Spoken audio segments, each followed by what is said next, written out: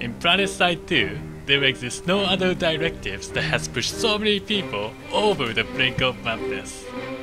The Javelin Directive. The directive that was just not designed to be achievable by a mere mortal soul. It is the herald of rage quits, the butcher of KD ratio, and a testament that devs don't play their game. Because it is not doable, it is absurd, it's not fair, and millions of innocent lives are lost, all because of this atrocity of our directives. And this is all coming from a guy who finished Rocket Launcher directives without buying any Decimator reskins. Now, I've once known this one player who was crazy enough to attempt this Javelin directives. He managed to get 666 kills on Celeste and never to be seen again.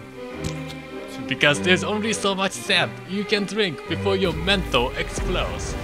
Like you had to be a literal psychopath in order to complete this. And by psychopath, I don't mean like a regular run-of-the-mill psychopath who locks Sundy so you die to an orbital strike. Or a kind of psychopath who urinates inside a swimming pool, like a teleporting Taurus. No, it is all the way down in the psychopath scale where you find these people who Auraxium Javelin. Their existence is a cosmic horror. Like I once told my viewer to go look up the Javelin Fist leaderboard because he thought I was the crazy one.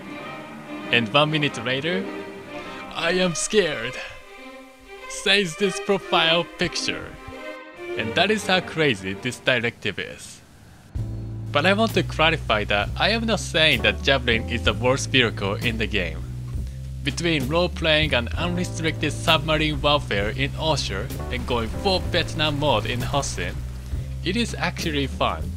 The default Salamander can take on anything while Hydra can cheese infantry fights without being labeled as a dirty cheese.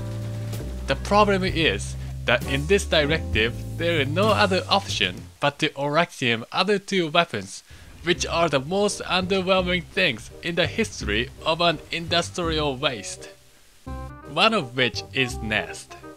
Now on the surface, it is a very unique weapon that shoots the barrage of honing missiles, which on paper synergizes greatly with the Javelin's mobility.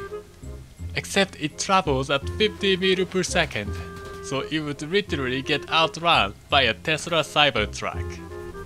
It is unusable against half the vehicle in the game, and a stationary flash in particular, and if you try to maintain a safe distance from an enemy, half the shots will miss due to deceiving cone of fire and ends up doing zero damage.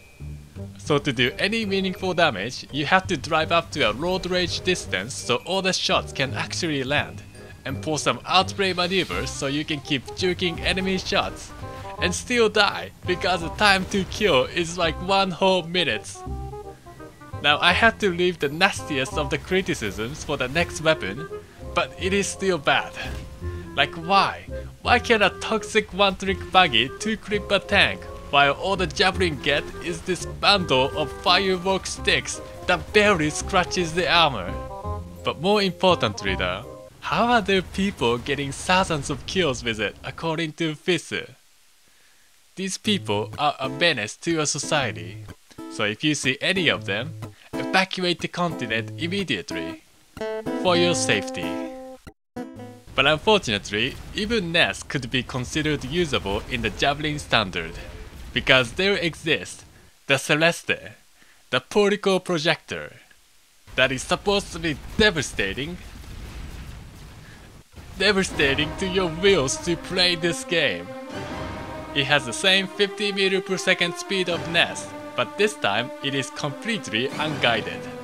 It has an insane gravity drop, coupled up with everyone's favorite mechanics, delay fire, so that your shots will miss due to terrain bumps.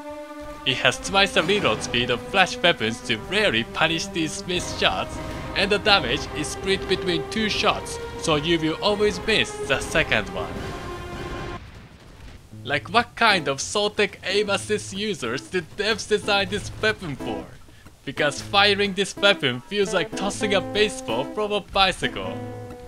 And of course, even if you somehow land these shots by channeling all your mental power, and you dodge the enemy shot with all your might, it still gets out repaired by a repair bus. I genuinely don't understand how it is ever possible to Auraxium this weapon without punching a hole in your monitor. But of course, if you check PC, there are creatures who has done it. And to this day, I am haunted by their existence. That is why, if you encounter any of them, out F4 immediately, for your sanity. So these are the reasons it is humanly impossible to complete the Javelin Directive. But then still, I do still love Javelin as a vehicle, and I really want that Auraxium trim. And so I started grinding. But how? Only by overclocking the Javelin.